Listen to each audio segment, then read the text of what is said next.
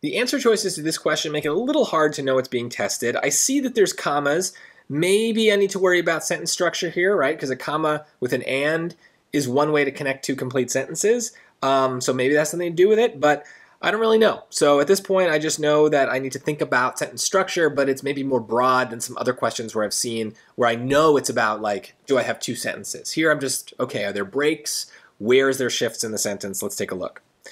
Um, okay, gathering accurate data on water flow in the United States is challenging, okay, because of the country's millions of miles of waterways and the fact that the volume and speed of water at any given location can vary drastically over time. Okay, I get now what's going on here. This is a list.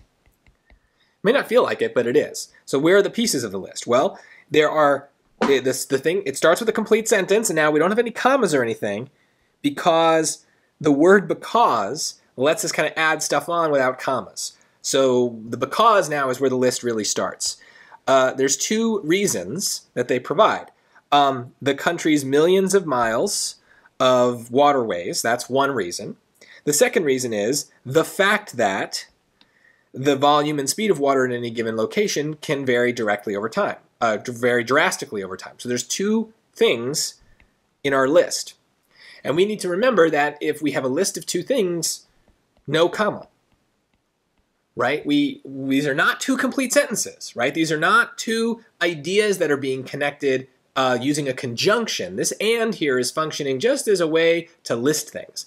And when we have the list, we have no commas. So uh, don't get tempted here. The commas don't even really make sense. Like try to think of it as a break. Why would we take a break after the word that? Why would we take a break around the word and like this? This makes no sense we just there's it doesn't there's no reason. You can read it and you you notice that you don't pause or you don't stop to like reset your brain here. It's just a continuous flow of words. So choice d is the answer. We don't need any commas.